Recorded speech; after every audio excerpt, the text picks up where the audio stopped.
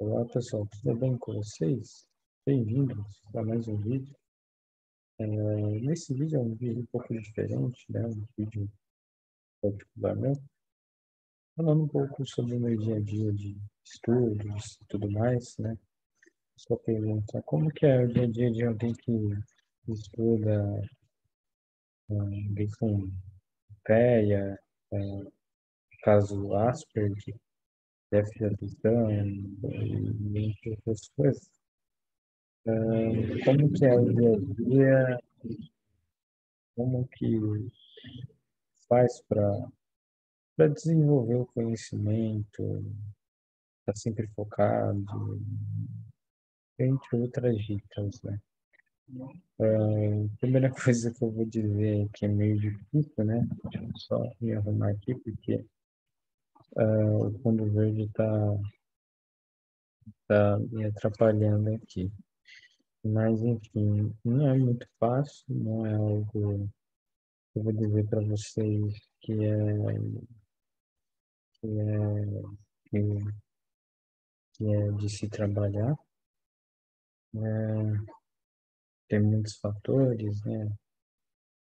Além desses, desses problemas com ansiedade, mas coisas assim que não, não quero entrar em questão. Mas esse vídeo eu vim dar dicas para você estudar e tentar se desenvolver. E, e a primeira dica que eu vou, eu vou dar é, é para quem deseja se, se desenvolver na área de, de, de segurança, é, na área de TI em geral, né? É, é definir o que quer para de carreira. Quando você define o que você quer para a carreira, a sua carreira de segurança, de segurança, de TI, fica muito mais fácil você traçar seus objetivos. Quando você não tem, não sabe o que você quer em TI, fica muito mais difícil. Porém, não, não é impossível. O que você precisa fazer é se encontrar. Algo que muita gente, assim, é, eu posso estar tocando um assunto delicado, mas é, não adianta falar, eu quero trabalhar com TI e ficar sentado esperando os resultados virem. Ou que caia no céu alguma coisa e falar, oh, essa vai ser sua profissão. Você precisa correr atrás, você precisa estudar o mercado, você precisa estar tá lá no LinkedIn, vendo o que, que o pessoal vem fazendo networking, vendo canais no YouTube, vendo as vagas de emprego, vendo noticiário, porque sempre vai falar de vagas que estão ali abertas e tudo mais.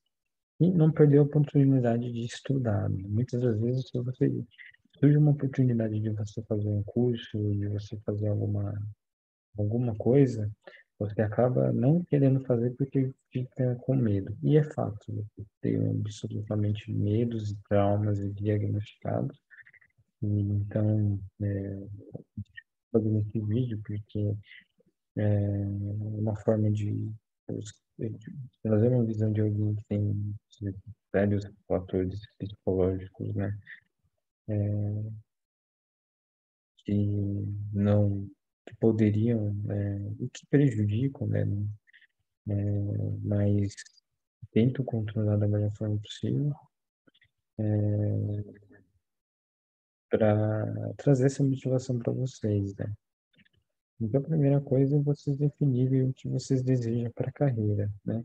Então, se vocês virem aqui, por exemplo, no Google, escreverem né, Gartner é, IT é, Jobs.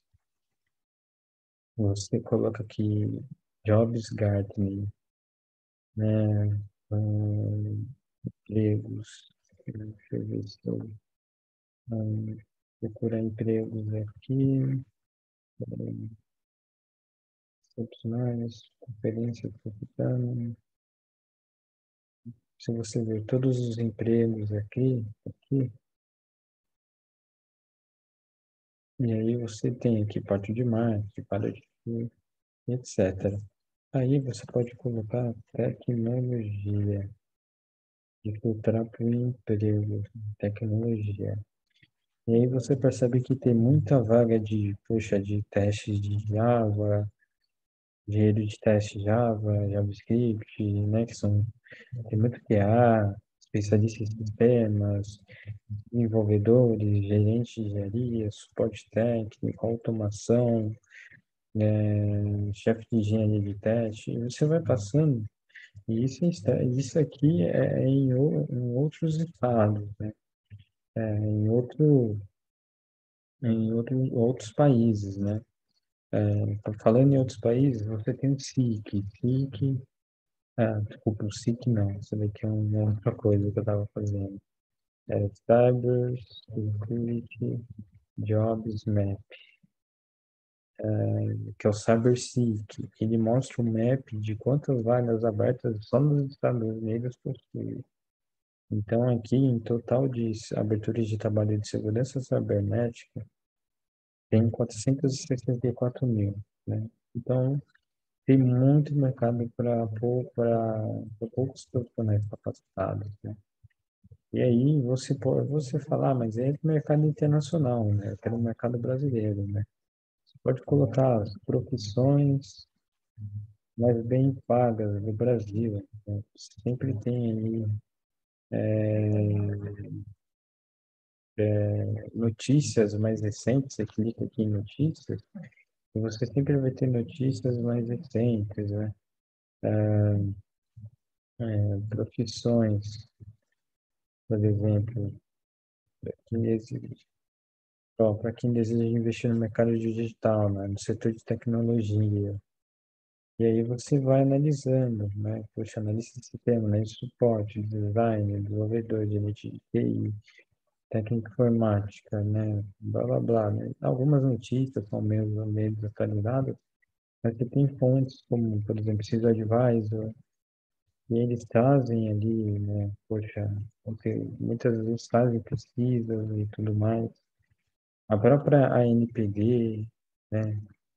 É, traz notícias e entre outros locais assim internacionais que vem falando do mercado de trabalho, né?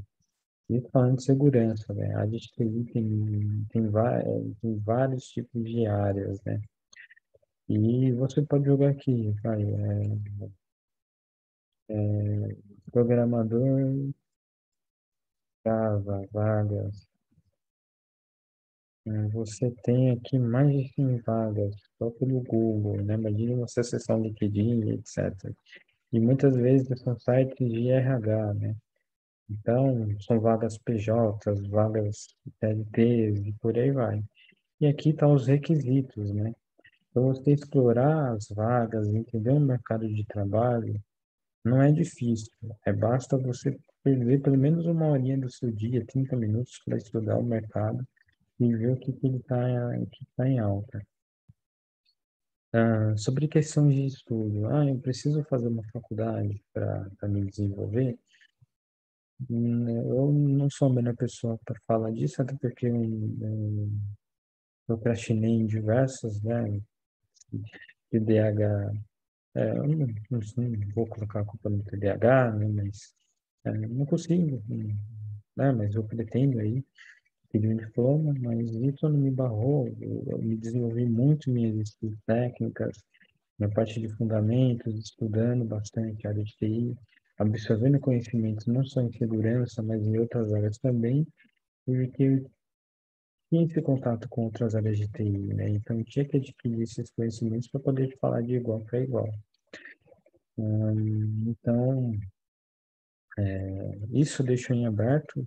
Se você está querendo ingressar no mercado de TI, está em dúvida, poxa, quero fazer um curso, quero ter uma graduação, quero aprender do zero, aí eu recomendo, vai para cima, faz um tecnólogo, um bacharelado, conforme você deseja, né? Cabe a sua pressa, né? E a sua necessidade. Mas analise a ementa e o peso do diploma, né? Aí na sua vida profissional. E quem faz a sua carreira é você. E sobre hum, sobre questões de estudo, né? Não, não se prenda à receita de bolo, né? o que a faculdade ensina. Ela vai te dar uma base. Mas o resto você vai se desenvolver através de cursos. Então, você tem plataformas de curso, como a Lura, como Coursera, como Udemy, e etc. Então, você vai aprendendo de qualquer forma é, é, através dessas plataformas, adquirindo conhecimentos, fora outros cursos que vêm por aí, né? Tem o Bootcamp da GTI, tem as pós da Unifib, e, etc, e etc, etc, etc. Então, é, é, é bem, é bem, bem complicado falar sobre também essas questões, né? Porque cabe a carreira que você quer seguir. Mas o que eu recomendo é você traçar uma linha de, do que você quer estudar aos poucos, né? Então, primeiro, eu quero, me, eu quero ser um desenvolvedor Python. O que, no mercado de desenvolvimento Python tem como requisito? Ah, tem esses requisitos que mexa desses frameworks. E aí você começa a estudar cada um dos frameworks passo a passo. Vai auxiliar o porte para você não se prejudicar. E sobre questões de você concentração, ah, como você PH, ideia e tudo mais, né? Eu tinha até pesquisado, né, um artigo de como viver com autismo, que era muito bom, mas não achei. Eu ia colocar no link desse vídeo, que não, é, as pessoas têm o costume de, de gerar um preconceito com alguém que tem esse tipo de característica, né, já subjugando a pessoa, é, ou até mesmo é, é, tendo dificuldades para e limites para essas pessoas. A gente tem certos delimitadores, mas isso não significa que não podemos quebrá-los né, e, e, também viver vidas normais. E outras atrelam, atrelam né? Poxa, todo Asperger, todo, todo que tem autismo é inteligente. É, existem condições e características que nos fazem é, trazem particularidades com outras pessoas, né? É, mas a nossa dedicação é muito mais diferente é, e, e, visão de mundo também. É, principalmente alguém que passa com, por experiências traumáticas também, muitas das vezes tem muito foco. Então, não é só isso, né? Experiências traumáticas, entre outras coisas, podem trazer motivações e por aí vai. E até mesmo é, a vontade de querer, né? Então, não se rebaixe a isso, não, não se rebaixe a condições, né? Todo mundo pode porque todo mundo é igual, né? É, a diferença que ali algumas pessoas têm é, tem ocasiões, tem circunstâncias, né? Vamos dizer assim, tem circunstâncias diferentes, porque existem particularidades cerebrais, culturais, né? Né? Nem todo mundo tem a mesma doença, nem todo mundo reage da mesma forma quando pega uma gripe, etc. Então, não se iguale. Faça o seu e desenvolva uh, no, no, no seu, né? no seu, o tempo, conforme vai dando. Porque isso pode te gerar burnout e ansiedade desnecessariamente. E, e não é isso que, de início, não compensa. É, só para ter burnout e ansiedade sem mesmo nem começar a trabalhar já não rola. É, outra coisa também é, é gerenciar os seus estudos, gerencie, né? Poxa, reserve uma hora por dia, 30 minutos por dia, lê alguma coisa, estude alguma coisa, tenta terminar algum código, mexer com algum projeto, fazer uma tarefa, vai aos poucos, mas nunca deixe de atualizar. E use técnicas de Pomodoro, por exemplo, pirâmide de William Greiser, né, que ajudou bastante ali na questão de ler escutar, compartilhar, né, etc. E que vai te ajudar bastante. E é uma pirâmide muito legal, né? William Glazer. Eu particularmente utilizo, né? Tem, tem cada um usa da sua forma, né? E, e aí é, é, é isso, tipo, é, né? Me perguntar como que é o dia a dia de alguém com pé para estudar TDAH. É, gerenciamento, procrastinação vem, vem de monte. É que eu estou com controle aqui, porque eu ia jogar aqui bullying, né, e tudo mais. É, mas a procrastinação vem, porém, quando a gente começa a focar, andar, forçar a carruagem ir, pega no pega no tranco, a gente não para. É essa a circunstância. Né? E, claro, né, quem tem depressão, ansiedade, fica difícil se levantar, às vezes querer fazer alguma coisa, estudar ou algo do tipo. Mas force-se. Assim como a gente força-se, a gente se força a ver uma série, a ver um filme, a sair, senta no computador e, e liga e começa a ver o conteúdo. Tá chato? Ok. Não conseguiu? Beleza. Deu tempo, tente de novo ou tente outro dia. Tente ir fazendo isso. E tente diminuindo, fazendo com curto período, em 20 minutos, depois 30 minutos, 40, uma hora. Quando você for ver, você está trazendo isso como rotina. É, eu carrego aí há anos e anos e anos todos esses malefícios. É, novo, né, mas carrego, eu tenho uma bagagem muito grande nesse lado psicológico. Quem me conhece sabe que eu não, não sou bem mentalmente, né, sou meio doido. O pessoal até brinca, nossa, você não para, produz conteúdo porque minha mente viciou nessa questão de produção de conteúdo. E se eu parar, é, é, acaba me acaba deixando, acaba me afetando um pouco. Porém, qual a melhor forma de você é, repousar, né? né? Porque assim, é, não gerar um buffer overflow, né? esgotamento de memória. É você ter válvulas de escapes. É você fazer o upgrade da sua memória RAM, né? Você aumentar a memória lógica, é você desacelerar o hardware dali, parar alguns processos e deixar ali o computador hibernando e tudo mais, fazendo alguma atividade por fora e depois você retorna. É assim que eu consegui ter as certificações e me desenvolver. E com certeza todo mundo consegue. Não sou diferente de ninguém, todos que estão assistindo não são diferentes de ninguém. A área de TI tem espaço para todo mundo. Basta você querer se desenvolver, basta você estudar o mercado. Ah, não tenho recursos para estudar. Ah, meu computador é muito ruim, não consigo instalar Kali nada.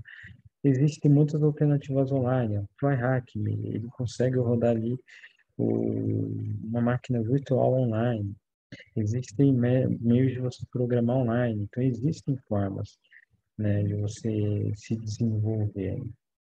Então, é, hoje não falta, é, é, não vou dizer que é desculpas, né, mas é, falta de, é, só falta pisar mais, né, dar um passo. Quando você conseguir dar esse passo, você vai conseguir obter êxito, vai desenvolver melhor a sua carreira.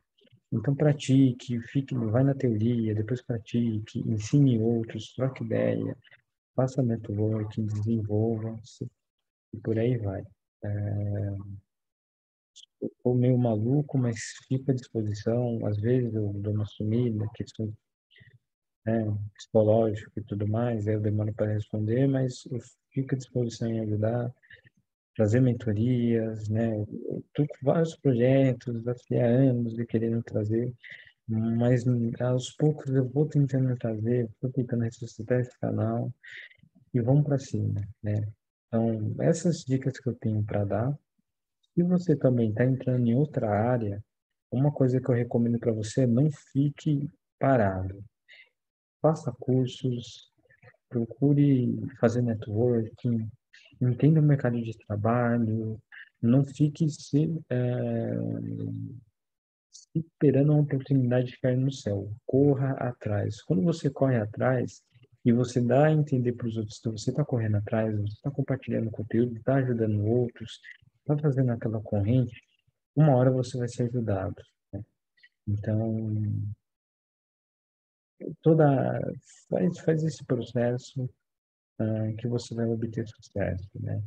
E para quem tem TDAH, tem TEA, tem é, tem depressão, eu sei que é desanimador, síndrome do impostor, eu sei que é desanimador, às vezes você não tem essa autoconfiança, mas a autoconfiança ela vem conforme a gente vai arriscando. E às vezes quando a gente fica, a gente arrisca, a gente acaba vendo que é besteira, né?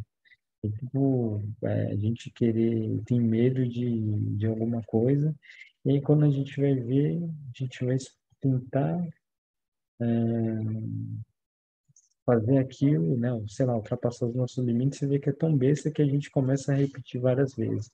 Então, todos os dias a gente tem que ultrapassar os nossos limites para a questão de amadurecimento, para a questão de desenvolvimento pessoal, desenvolvimento profissional, toda essa questão de coaching, questão aí que vocês vão escutar bastante, mas é uma questão que é séria, né? Principalmente nas nossas vidas, né? No fim, é tudo é individual, né? Você tem, tem que ter pessoas ao seu lado, mas você tem que também querer. Não, não adianta você esperar dos outros, né? E é isso. É, eu acho que essas são dicas. Espero que vocês tenham gostado. Fico à disposição, me chama no LinkedIn. E até o próximo vídeo, né? Talvez aí muitos falaram, ah, faz um vídeo sobre a sua, minha história. É, ainda estou pensando em fazer, né? Questões delicadas, mas hum, quem sabe algum dia, né? É, enfim, é isso aí. Muito obrigado, pessoal, e abraço.